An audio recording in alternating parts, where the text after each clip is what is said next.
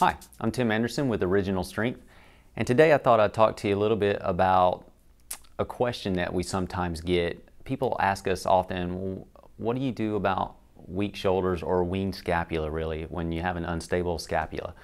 Um, so the answer is simple. We just press reset, but I'll, give you a, a reset rocking, which you've seen so many times before, and I'll just I just want you to look at rocking in a different way and how you can use it to address the, the scapula area and the muscles in between your shoulder blades. When you rock, if you rock on your forearms and you rock forward really far,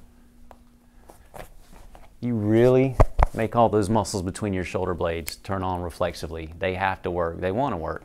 Um, and as a kid, that's how you kind of build them up to start with because you would prop yourself up right here. You used your big giant head and got on your forearms and you strengthened all those muscles in your back, especially those muscles in between your shoulder blade because this was your first, really your first weight bearing joints, right? So we're just going right back to that and we're putting in just some rocking motion on it.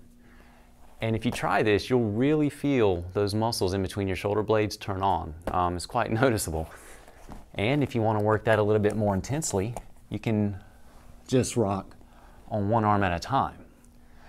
Now you'll really feel those muscles turn on if you didn't the first time.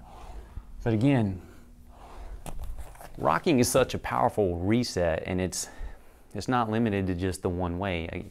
If you haven't explored all the different ways of rocking, you, you should really just spend some time and play with it. But this particular form of rocking on the forearms, or we call it commando rocking, um, is very, very effective for strengthening the shoulders uh, and turning them on reflexively.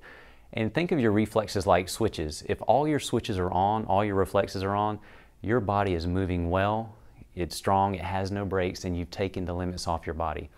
And again, rocking is just a great way to pretty much take the limits off your body. Give it a shot, see what you think, and have some fun. And that's our tip for the day. I'm Tim with Original Strength. We'll talk to you soon. To learn more about Original Strength, check out our book, Original Strength Regaining the Body You Were Meant to Have. You can also check out our website, www.originalstrength.net. And of course, you can follow us, like us, share us, and plus us on the favorite social network media of your choice.